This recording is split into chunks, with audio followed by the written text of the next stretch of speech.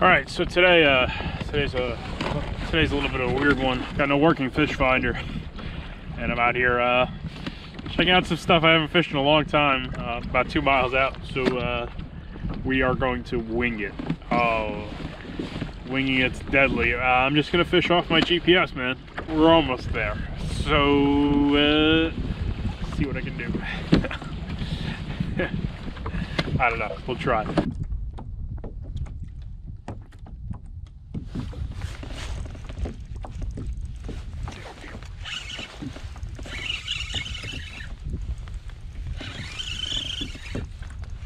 Oh, okay.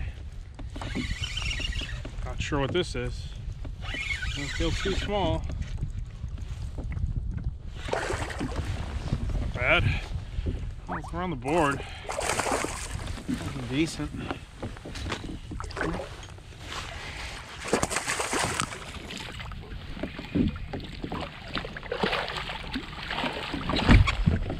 On the board, the blind tautog.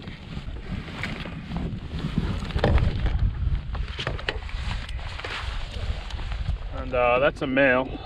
Not a big one, really, 18, 19.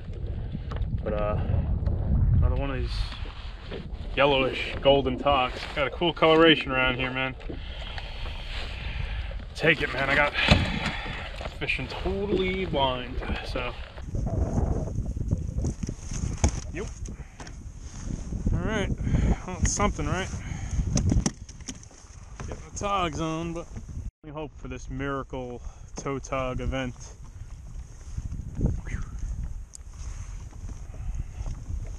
Oh man, that wind is brisk, man.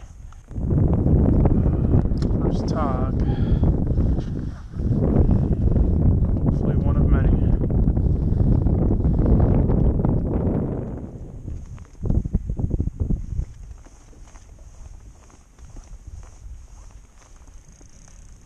Oh man.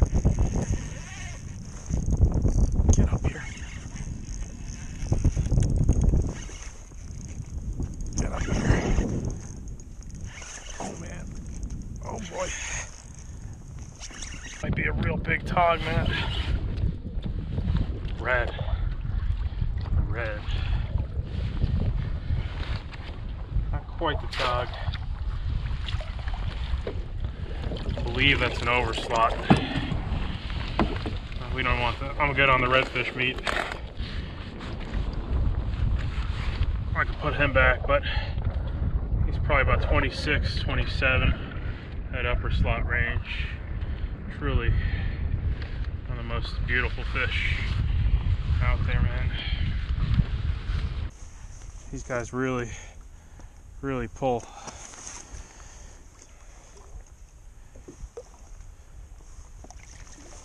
Oh, the good thing about a cold northwest breeze, it's not gonna fill the seas at least. It's funny how the reds and the and the uh, came out of the exact same area. It's like the dominant species kind of hang together, and maybe the secondary species might hang somewhere else. Keep dropping on number three here. That's all I'm doing. Number, the lucky number three mark.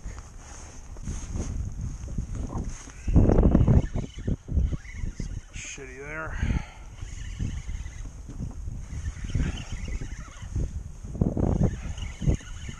That'd be a ringtail. Yeah. All right. Uh, that's a ringtail. Kind of like a pinfish, scup. They're all very close. They got sharp teeth, so they can chisel away at your hard baits very effectively.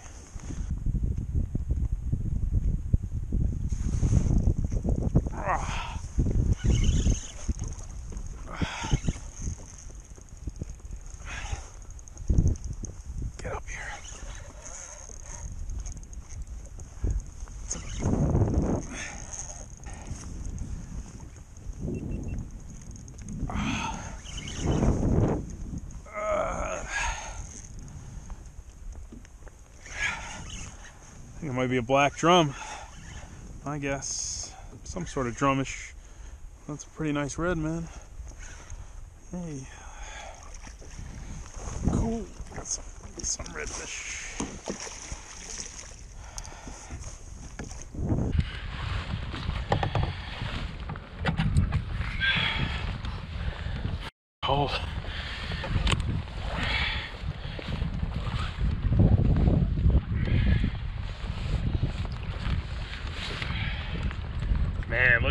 fish.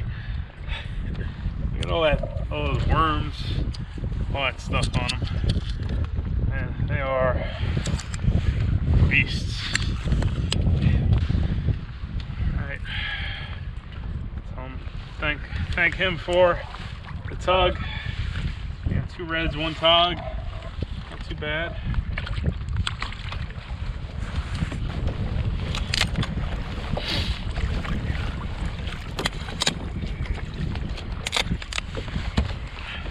Like my version of ice fishing.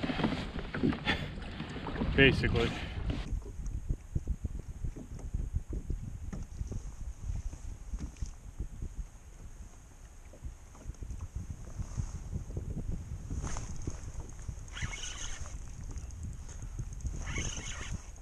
Okay. I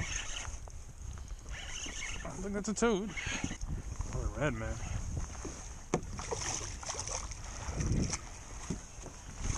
Looks like I gotta keep this one. I blew out his stomach. Just make sure he's a legal size one. I think he is. But I think we uh, we gotta keep him. Which is alright. He's a better eating size than the last two. We could keep him. 19 and a half. It's a good size drum to eat anyway. So we got a red.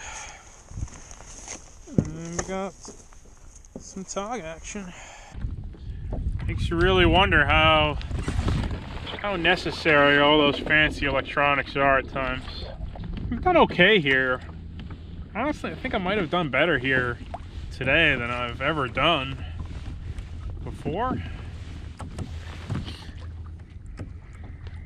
But, you know, this is all anecdotal evidence right now, though.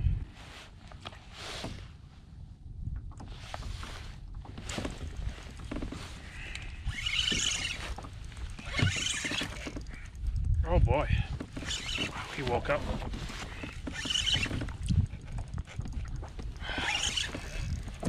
That's gonna be red. Maybe it's a tog. I don't know. Don't know. Could be. Tog a tog. Ooh, yeah, buddy.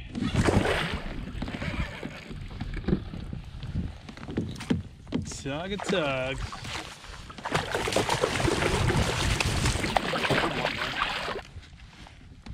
Man, he's just wide. He's not that long.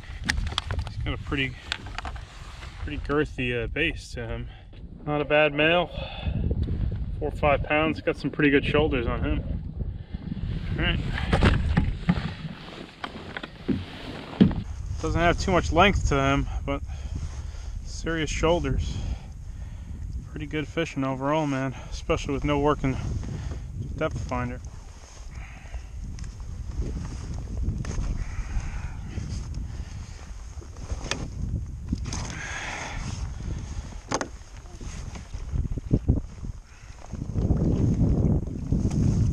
Gonna get out of here pretty soon, but figure get some fun underwater footage before calling it.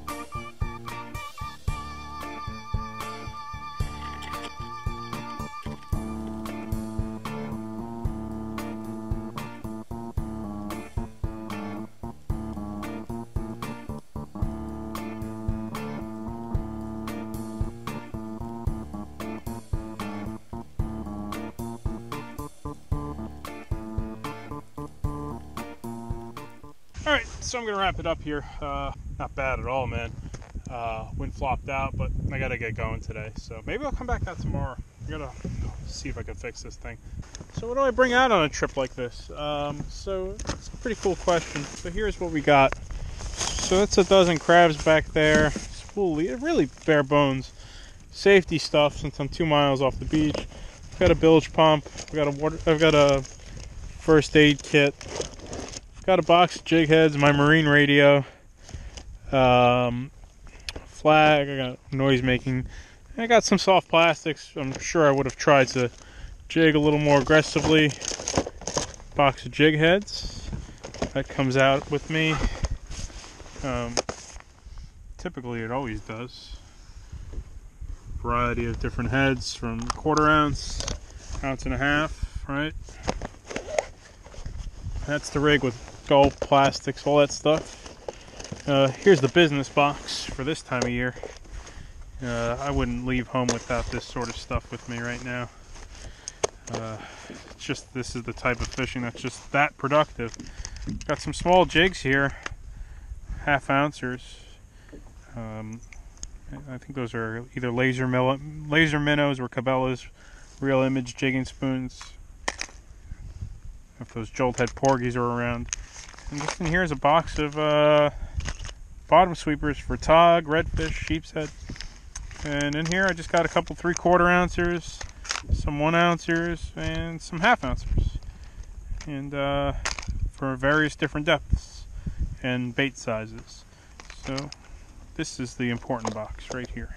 At least for uh, the winter months. Well, the fishery's going to change soon, real soon. Um, I think we'll be uh, on bluefish and stripers within a month.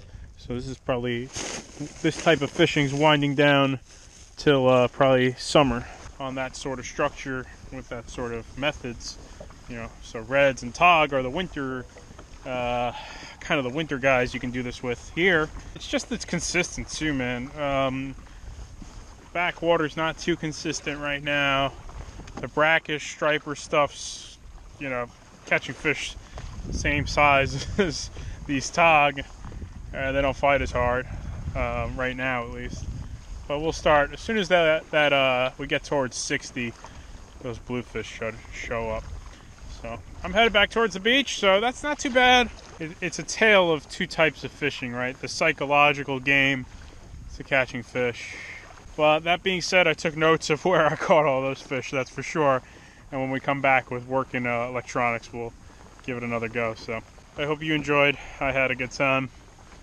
Uh, smiles all around it's warming up now, getting into the 50s. Good times.